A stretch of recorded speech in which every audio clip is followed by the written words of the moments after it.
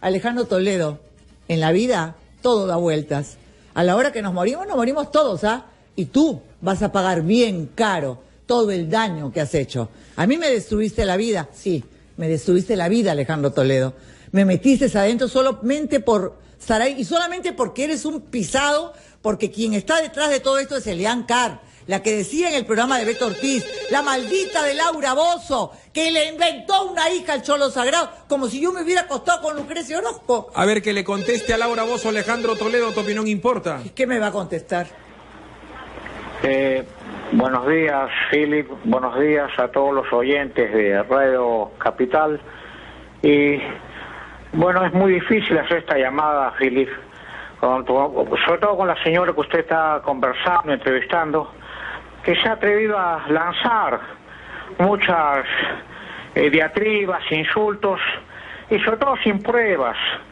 Ustedes saben que, que ya estamos hablando y realmente estoy bastante indignado y voy a proceder a demandar a la señora Laura Bozo por difamación y calumnia porque no tiene pruebas, porque nos estamos indignando también de aquellos que fuimos perseguidos por la dictadura y que ahora venga desde México a hacerse la, ¿no? La, la imagen, la, la persona pura, que, que no pasó nada, por favor. Los peruanos saben. Perdón, ¿y quién la va a demandar por difamación a calumnia a Laura Bozo? Porque está diciendo cosas que no solo tiene pruebas.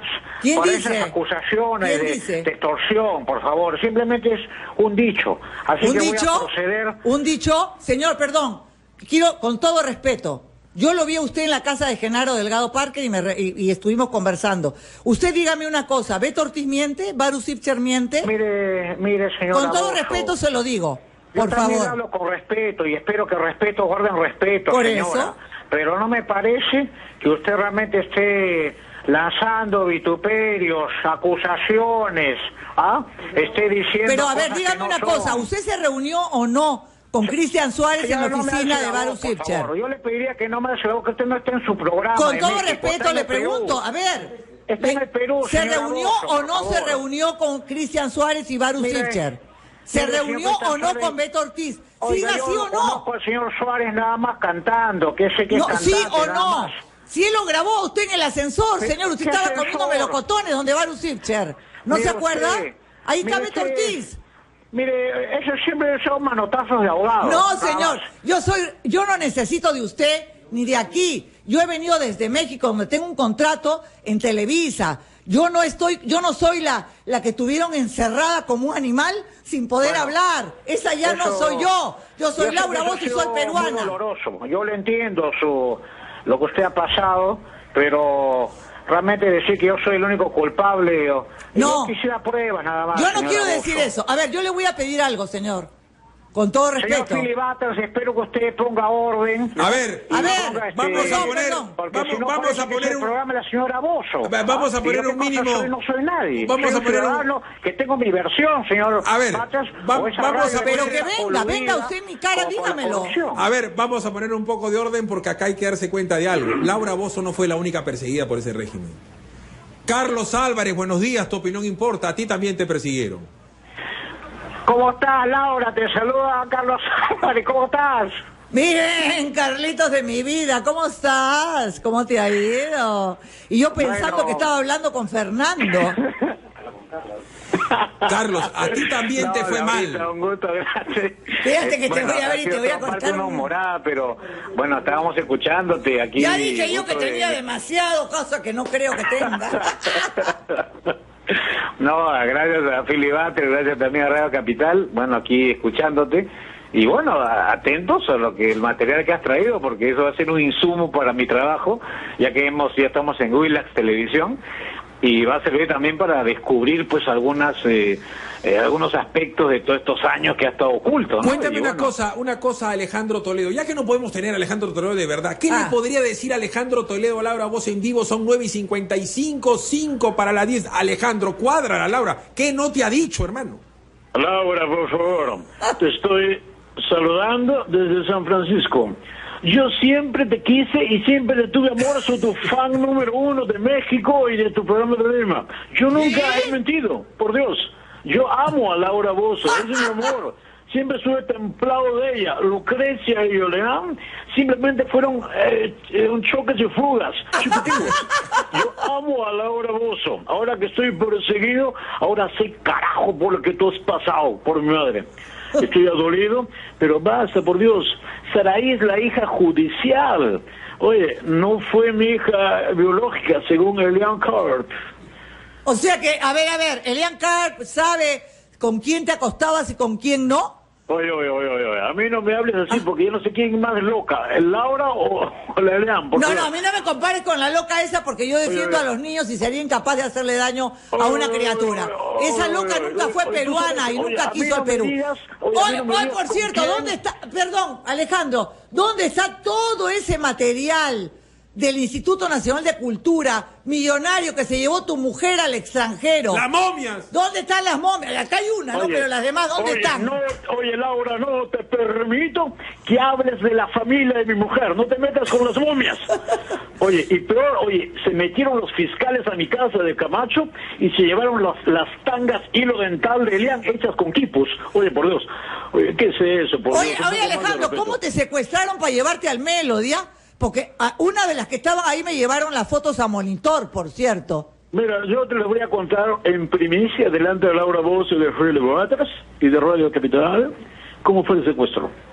Yo estaba en una camioneta, llegaron tres camionetas, bueno, la verdad era un bus chapajuerga.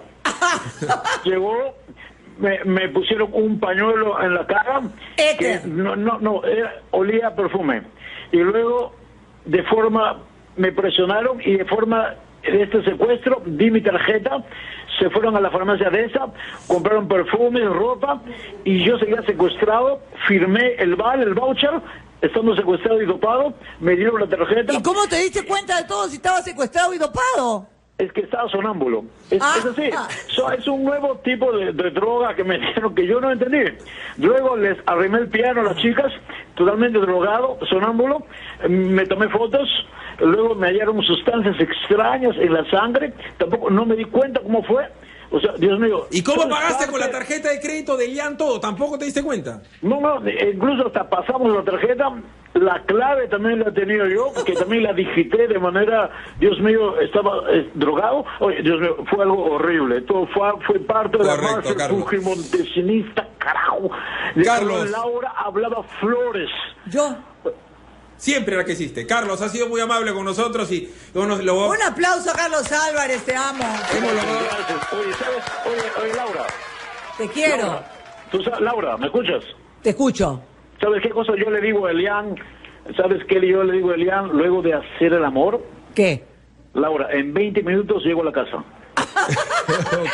Gracias, Bueno, Carlos. Un beso para ti, Laura. Un abrazo para ti, Silvia Bartes. Pronto Gra- nos vemos muy pronto en Willax Televisión. Un beso. 9 de Gracias. marzo. Gracias, Carlos. programa. Y los jueves a las 8 y 30 de la noche, este y todos los jueves, en el Teatro Canudo y Miraflores, mi show. Correcto, Carlos. Un beso para todos. Saludos. Bye. Laura ha sido recontra amable este, eh, al venir acá, al exponerte, a dar la cara para que la gente llame y te diga en vivo. Acá nadie se corta, nadie se edita.